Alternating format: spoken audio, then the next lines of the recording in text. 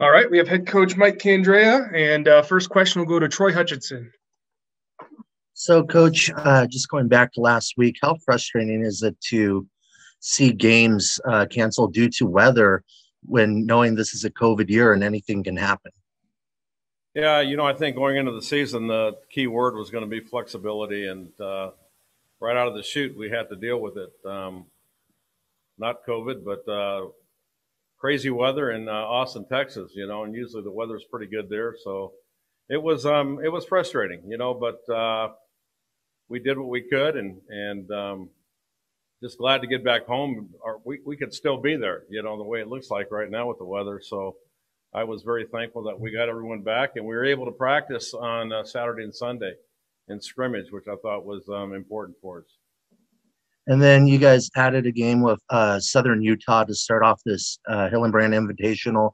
Are you guys going to try to do that moving forward with a couple of series? Maybe try to plug in an extra game to make up those lost games. Yeah, we're going to try to pick up the uh, four games that we missed. Um, uh, I think we've um, we're, we've got some talks going on right now with uh, our next tournament to maybe add a team and um, uh, you know who who knows? I mean, throughout this year, it's going to be like that. So I think everyone's kind of used to it. All right. Next up, we've got Alec White. Yeah, coach, I was talking to, to Jesse about just staying in the hotel, and she said when you guys got some of the girls were able to go home, and then some of the girls uh, with her and Alyssa, and you guys were still in the hotel with the delayed flights. You went out for, for ice cream, and she said you only you only have Dairy Queen. What what's the what was that experience, and what's your Dairy Queen order? Well, it just shows my age. You know, growing up, that was the only ice cream that was around was Dairy Queen, and I'm just a diehard Butterfinger Blizzard man, and if I have my choice, that's where I'm going to go. So and then it was uh, convenient. Yeah, and then just uh, c- kind of walk me through that that series of events where you're able to to get some girls on flights home and then the you know the the, the delayed flights just how did, how did that whole process play out? Well yeah i mean when we uh, originally uh, canceled the, the, tournament we um, we had a flight out um, i think it was thursday night and that got canceled and so then we were kind of um, brainstorming what we could do and you know brittany mead um, who does a lot of our travel was here in tucson um, with basketball, and and Stacy was on the road with us, and they worked really hard to try to get everyone out. And next thing I know, there was three flights going out on Friday, and um, I was on the last flight, the 6:40 flight, and I kind of was looking around, going, "This is the last flight, and if we the the connection in Dallas is going to be very very tough." And sure enough, um, I decided that we had 20 minutes to get off the plane and get to another gate that wasn't going to happen. And and it, later on, it showed that that flight didn't even leave till nine o'clock. We would have missed our our connecting flight. So it was kind of a blessing that we stayed the night there and and um, went out and hit some more with the group that I had, and then got back at about 10 o'clock on uh, Saturday and um, blessed them with a practice at uh, one o'clock, a little scrimmage, and they're resilient, you know, and I think in, in what we're going to be dealing with, um, you just, you have to deal with it, you know, and um, it was just kind of funny that it was the weather and, and not COVID that we were dealing with. Go ahead, Ryan. Um, what kind of advice do you are you giving Jesse this year? And you know she's in that she's chasing the home run record, and that's going to be something that is going to be brought up all season. Well, you can't I mean, shy away from it. It's going to happen, and people are going to talk about it. And I think as a player, you just have to really go back to the basics and go out and play the game. You know, um, records are going to happen if if you go out and perform. So, yeah, I think you really got to go back to the basics to make sure that you're ready to play. You know, physically, mentally, emotionally, and um, you know, we all say play the game one pitch at a time, but it's so true. If you, you look too far down the road, uh, this game will bite you. And I think Jesse's um, uh, got a good head on her shoulder. She um, loves to play the game. I think, you know, maybe with COVID and, and having this break for such a long time, she's really going back to the basics of just appreciating being on the field and playing the game. And so, well, well, you know, I, I don't think it's going to be a concern. Um, you know, I watched uh, Roger Maris go through it, and I hope that doesn't happen. But um, I think she's got a good head on her shoulders, and, and she's a, she's a good player. So really, the foundation is going to be just go out and play. You know, let the game come to you, and and um, don't put any added pressure on yourself. There's enough pressure in the game, and so she's going to have to go back to just relaxing and and uh, doing what she does. You know, it's it's a team sport, and I think a lot of times when you can kind of take that individual um, focus and put it on the team, it sometimes relieves a lot of that pressure. And she's a really good team player, and I think um, I think she'll be fine with it. And when you recruited her, did you foresee her being in this position where she would have a chance to break the record? And what would it mean to you if she does do that? Well, I don't think when you recruit um, that you ever know that a kid's going to be in a position like this. Um, you hope they are, and I really felt like she had potential to be, you know, a 20 plus home run hitter every year. Um, but you, you never know. It's kind of like recruiting classes. You know, I never say that it's going to be a great recruiting class until they're juniors, until you kind of see what they do. And the body of work's been there. Jesse has um, done a tremendous job, and and she's a she's a really good bad ball hitter, so she's hard to pitch to because she doesn't know a pitch that she doesn't like. If she can see it, she can hit it. So that kind of helps, you know. Um, Sometimes I get frustrated that she doesn't take more pitches because she could probably draw more walks. But at the end of the day, she's a very aggressive hitter. She's got great hand-eye coordination, and um, you know, I, I'm just really, really happy that she's an Arizona Wildcat more than anything, and she's helped us win a lot of ball games. Um, and so, if the record's had, so be it. But if not, she's I think she still has left a tremendous legacy here in our program, and I'm probably more happy for that. All right, we'll go to Rich next. Thank you very much, Mike. How are you? I'm good, Rich. How are you? Good. What did you what do you miss the most? What have you missed the most with this COVID disruption, being away from the field, not having uh, games going on? Well, I think just the competition. I mean, you you spend a lot of time practicing, and in our sport, we practice a lot more than we play. So there comes a point in time when you have to take that test, you know, and find out where you're at and what you need to work on. And so I've kind of really missed that. I mean, I, I love the process. I've, I've always um, been a practice coach. I, I spent a lot of time on making sure that practices are, are efficient, um, that we're getting things out of it, and that we're preparing for a game. And usually we play the game to kind of find out where we're at and what we need to work on. And so we missed that. You know, we don't really know. And I think um, all of us are anxious to kind of see, you know, get back into the flow of things because there there is a, a mindset and there's a motor that that each kid has that's completely different than practice. And until you really get into the game mode and start feeling that, um, that that's a whole nother element that you have to deal with. And I think our freshmen – um, have done a really good job in practice, but you know, what are they going to be like come game time with uh, another opponent in the dugout and their uniform on? And so I'm I'm really anxious to kind of see where we're at. And um, you know, I like this team. I think we're we're very prepared for our first test. And then from there then on, it's going to be each week. You know, what do we need to do to get better? And um, you don't know until you play games. Initially, who do you think is going to be ahead, hitters or pitchers with this long layoff? Um, I, I would always say probably hitters. Um, you know, our game has become, um, I think, a hitter's game. It's, uh, you know, a combination of uh, these kids are stronger and quicker and faster, more prepared. Um, equipment so much better. I mean, I go back to when I first came here, we were using aluminum bats. And if you know anything about aluminum bats, they are what you see is what you get. You know, they're not they're not really friendly for hitters. Where um, softball is a lot like golf. You know, you go out and you want to buy another 10 yards or 20 yards, and and our equipment's really good and our hitters are really good. So for me, pitching is the toughest thing in our game, and maybe that's why they put a circle around that position. But it's becoming more difficult um, to find pitchers that can give you, you know, even 10, 11, 12 strikeouts a game um, because the hitters are that good. So they basically pitch the contact, so you have to put a premium on defense, and um, you're going to give up runs. And that was the hardest thing for me to get used to because I was so used to throwing zeros up there. And, you know, we give up one or two runs in an inning, I would get all bent out of shape that this pitcher's losing it. Where now, you know, they may give up three and they may shut them out the rest of the way. So um, it, it really has taught us to, to have patience, but we have to rely on every aspect of our game. And um, I think that's the one thing that this team is understands is that you have to pitch. You know, you have to play great defense. You got to get timely hitting, and the game hasn't changed in that regard. Thank you so much. Good luck this week.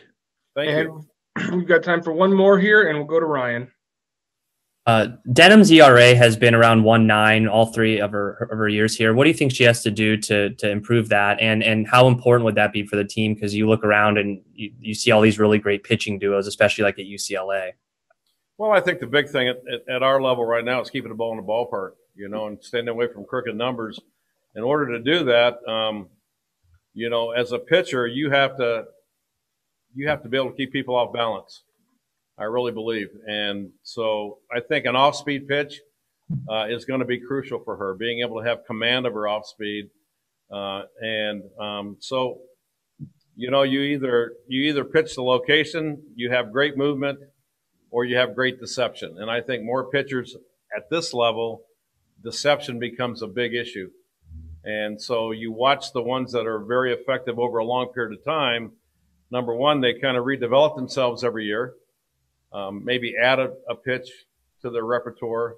But the big thing is they all have really good off speed pitches. And so I think that's going to be the key for us. And I think it's the key for our whole pitching staff is um, you're not going to blow the ball by these kids. And I don't care if you throw 70 miles an hour, they're going to catch up to that. But if you can keep people off balance, you got a chance uh, to be successful at this level. All right. Thanks, Coach. Thank you. Good seeing everyone. All right, I think we are good to go. We've got seniors Jesse Harper and Alyssa Denham here, and we'll use the raise hand function. And please, when you ask the question, um, address the player that you would like to answer the question. Ryan, we'll start with you. Um, so Jesse, I mean, what was that last week like when you guys probably were so excited to go to Texas, and then you get there and just to find out that the games were canceled? It was a little bit of an emotional roller coaster, not gonna lie. We were so full of high emotions, high hopes for that game. We're so excited. Uh, uh, two top 10 matchups, like that's all you can ask for for the first week. And we get there and it's pretty chilly. My goodness, it was cold. Definitely not Tucson weather. Um, so we were stuck kind of into our home hotel rooms, doing all the COVID precautions. But my goodness, it was very defeating when all you were told was, hey, you're not playing at all. You're stuck to this hotel room. We're going to try and get you to go back to Tucson when we can. And then, of course, our flight was canceled, and it just was like, oh, we're in this hotel even longer. I just want to play. I want to get out on the field. Um, but hey, now we get on the plus side, we get to open up here at Rita Hillenbrand. And pretty much that's where we always wanted to start is here on our home turf. So I'm excited for this weekend, and I think it's going to be a good one for sure. Yeah, and what, how would you describe the mood of the team? I'm sure you know you're you're already excited to get going, and now you're probably even double excited after oh, yeah. longer. We're triple excited. I'll say that. Triple excited, quadruple excited. We're just ready to go. I mean, it's been a long time coming, and we have a really solid bunch of girls here. Um, one through 22, we're all pretty solid. So I'm excited to see what coach decides as the starting lineup, but I have faith in everyone on my team, and I know it's going to be a good weekend. And, and Jesse, when we talked to you in April after the season had been canceled, that you said the number one thing that you were um, that was most disappointing was that you weren't get a, you weren't going to get a chance to play in front of your family again, or at least that was what you were afraid of. But now that you've had time to reflect on it, I mean, the thing that everyone's going to talk about this season is the home run chase. Um, how, how, are you approaching that, and and what do you just kind of think about being in the position that you're in, so close to to breaking a record like that? Yeah, well, definitely going talking about the family aspect. I want more than anything to have our team to be able to have our fans, our family in the stands. Um, I love playing in front of my parents and just being able to look up and see my parents and my grandparents in the stands and supporting me and my teammates. But uh, right now, as far as the home run record goes, I'm just here to play, have some fun with my teammates, and win some games. I want to make it to the World Series. I want to be playing the last game of season. So as long as I can have that national championship ring on my finger at the end of this, I don't care about any record. I just want to win. And that's just, that's the name of the game. The home run record is cool, but I definitely think this is going to be the year of the home runs for everyone. Um, we've seen a lot of home runs hit already by other teams so far, but who the home runs are great just to make the game exciting, but I want to win that last game, and I think this team can do it. And and what do you just think about your career now that you're in, entering your fifth season and how it's kind of unfolded compared to how you expected? Yeah, I'm just thankful, taking it day by day. Um, you never know when your last game is going to be, and we learned that last season. Um, but I'm just so thankful to be here with my teammates and finish it out with my senior group. We are a special group, and I think there's we're gonna have a bright future ahead of us. Okay, we'll go to Troy Hutchinson next. Uh, this is for both of you guys. Uh, even though the invitational or the classic was canceled, it was still an opportunity to uh, learn more about the freshmen in a road environment. Uh, how did they handle that in terms of traveling? Uh, was it kind of wide eyed? What What was that like to watch? You want to take it over? Um, so I think that they were super excited. There was a lot of nerves. I do know that. Um, and we were just kind of jokingly saying that it was our test run. So there was no pressure of the games necessarily. So now they know what to do when we travel. And it went pretty smoothly. And besides the flights getting delayed and everything like that, it was a good learning experience for everyone. And then Alyssa, you know, you have two freshmen there in the in the bullpen with you guys. Uh, obviously, you and Mariah are the two seniors. What have you seen uh, for the freshmen's pro- uh, progress so far? I know you guys haven't played, but what have you seen in practice out of them? Well, I've gotten an opportunity to get pretty close with both of them, and um, the growth is tremendous. Um, their work ethics are it, that's the start of it, and the progress that they've made is unbelievable and it's really cool to like be a senior and being able to like teach them the the growing pains that they're going to go through and that it, everybody goes through it and they're not the only ones having to face it and this and that but they i think that what's really cool is they they want feedback they want to learn they want to grow and they want to like they want to be in this place and um, i think that they're going to both in our whole bullpen in general are going to have a big role on this team Alec White, go ahead. Yeah, for for Jesse, can you just take me through the the delays on the the flights and the kind of the timing of it when you guys were supposed to fly out and then it gets delayed and just take me through kind of how you guys were able to to get back home. Yeah, well, one of my favorite parts about college softball is being able to travel. I love going and looking at all the different schools, their stadiums, what all they have to offer. I obviously think that we here at Tucson have the best of the best. Um, but that's one of my favorite parts. So I love traveling. And this trip made me hate traveling. My goodness. Um, but we basically were told that our games were canceled. So we had to deal with those emotions. And then we were sitting in our hotel room the whole time because for COVID, you're only supposed to be in your room with your roommate. And if you had to go get food, you had to come bring it back up to your room and eat it in your room. So we kind of lost that social aspect, which was a kind of little bit sad. I was going a little stir crazy in my room. Um, but after the, I think it was, shoot, I even lost track of days while I was there. Um, but anyways, coach came into up to us and said, Hey, our games are canceled. Get your mind right. We're going to be opening up in Rita Hillenbrand next week. We're going to try and reschedule more games to fill those slots.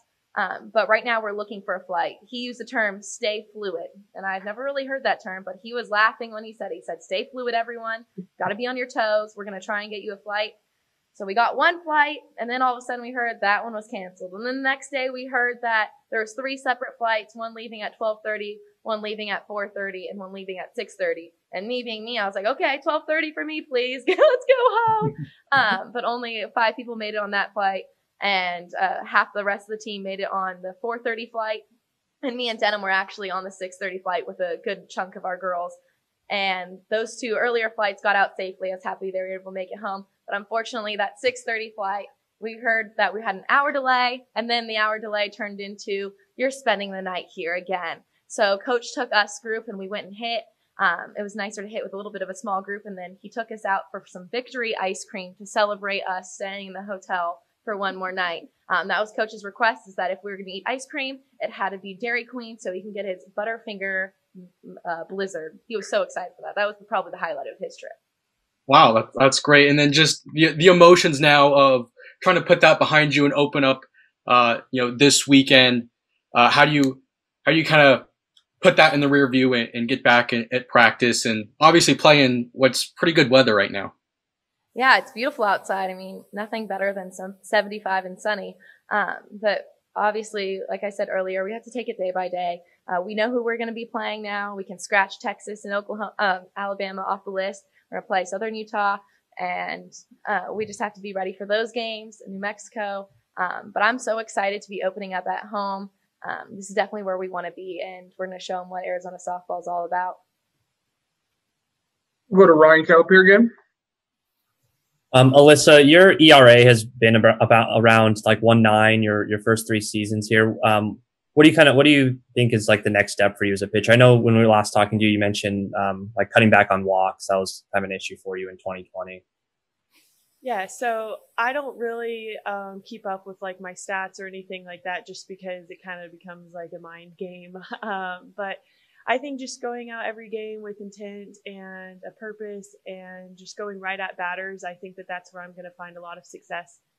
Um, I've developed a lot of different things this season, um, like over quarantine and this fall. So I'm super excited to like do those in a game rather than like against our own hitters that we face probably about 500 times now. And how did your preparation? How is it different this year than in years past because of the the COVID protocols and things like that? Um, it was kind of tough over quarantine because it's um, discipline. I mean, it's the discipline to get up and go work out every single day, to go pitch, go take ground balls because that's important, you know. And then we get back here and everything starts in small groups, and then we get to work our way into team practices. And I think that I've never been so excited to have team practices and scrimmages and now the scrimmages are kind of getting old and now i think it's perfect timing in order to start games so it's kind of been um, a long road to get here but i definitely am super excited to see what this season has do you feel as prepared as normal or maybe more prepared just because you've had to maybe look at things a little bit differently yeah i feel i feel more prepared i feel a year older i i know what to expect in every situation. I feel like um, I think that that's what's really cool is that I've been like playing college softball for five years now, and I'm getting to help the freshmen. And um, I totally take like pride in that and helping them and like helping them develop. So it's kind of cool being in that leadership position also in the bullpen. And what do you think is the strength of this pitching staff? everybody throws different pitches. I don't think there's a person on our bullpen that like they throw the same pitches or anything like that. I think we bring a lot of different looks to the table. Um, a lot of experience too. I mean, even the freshmen, they have experience in big games. It's not college games, but um, I think they're totally ready for that. So where do you think you fit in in terms of what you bring to the table? Um, well, everybody knows I bring a drop ball, and um, that's what I, I'm known for. And so I take a lot of pride in that and keeping the ball low. So as long as I keep the ball low, then I will keep the ball in the ballpark and I'll be successful. All right, we'll go to excuse me. We'll go to Rich Herrera next. Uh, Mike, Danny, can I get permission to record, please? Yes, I will do that. I'll do that, Mike. Okay, great. Thank you so much. Um, Alyssa, good afternoon. How are you? Good. How are you? Good. Let's talk about the a range of emotions that you've had over the last 365 days from the season getting canceled to finally getting back to campus, finally getting to practice, going on a big road trip, having it all taken away from you, and now having to get excited for this next game. Man, I heard coach tell us that we were opening in Texas, and the first thing I do is I call my entire family, which is about 30 to 40 people, and I'm telling them that they need to make arrangements to be at UT because that's like three hours away from home. We haven't played in Texas since my sophomore year here. So I was really upset last weekend when um, it got canceled. But the good thing is, is my parents, they were already in Austin. So I got to like kind of wave to them in the lobby, have a little conversation, obviously with masks and six feet apart. So that was a lot different and kind of mentally emotional just because um, not being able to necessarily give my parents a big hug like I wanted to, but um, it's all part of the process. And with COVID, those are the sacrifices I feel like we're all having to make as a team. And um, I think that it leads up to being super excited for this weekend. I mean, even though there's no fans, I think all of us are going to have a lot of nerves, a lot of adrenaline to get through this weekend. And I think it's going to be super exciting. How much sleep do you think you're going to get the night before? Probably none.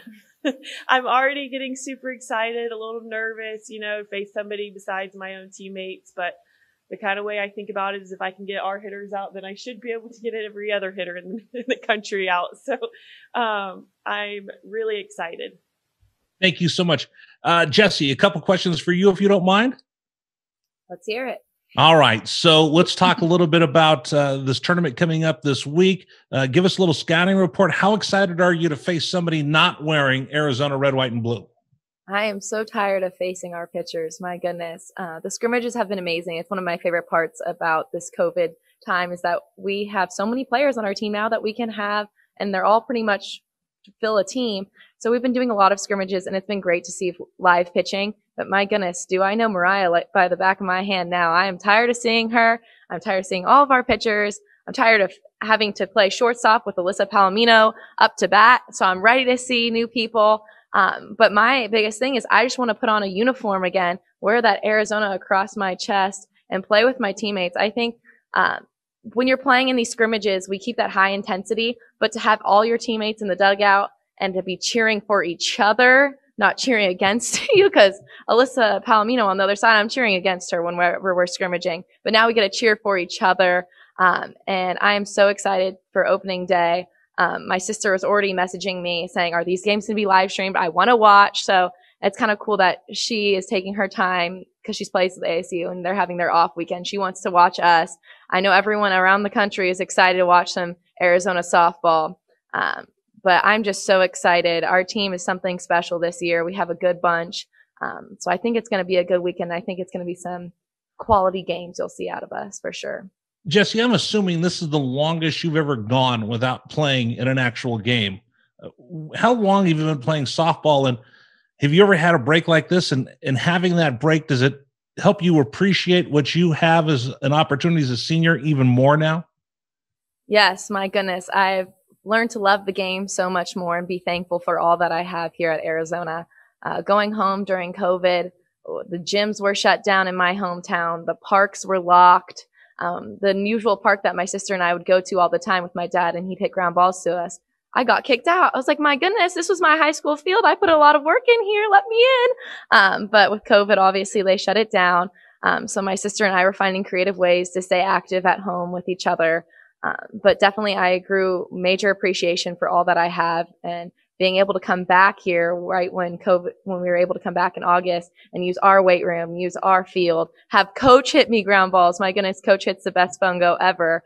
Um, so I rubbed that into my dad right away. I'm like, oh, dad, I'm so tired of your ground balls. Coach is so much better than you.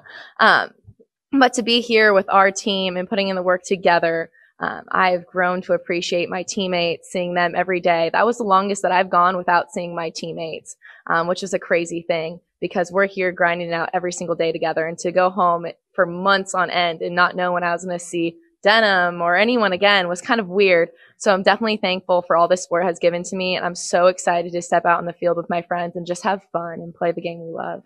You mentioned cheering. Sorry, Who's the sorry, best Richard. cheer? Oh, sorry, sorry. Rich. That's all, all we have time for the players. We gotta we got practice at 1.30, so I'm gonna let Jesse and Denham. I don't go. want to get you in trouble. Go to practice, but you got to come on the radio with me. All right. Thank you so much for your time. Thank you.